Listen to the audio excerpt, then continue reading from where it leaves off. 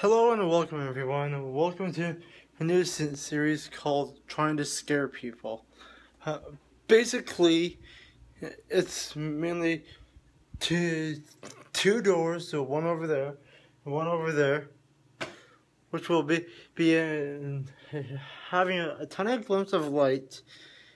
And, well, whenever someone comes down, I scare them. I scare them like no tomorrow. So, I'm mainly gonna be inside the, the dark rooms and all, all that. It should be really fun. And, uh, yeah, I hope you enjoy it. Okay, so I'm.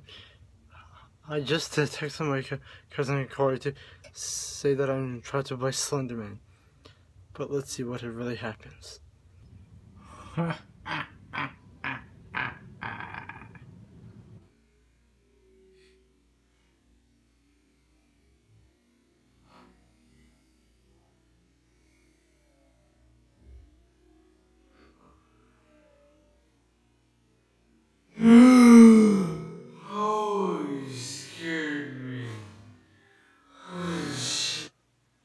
Okay, the first part was perfect. Now, that's the next part. And did a giveaway over here.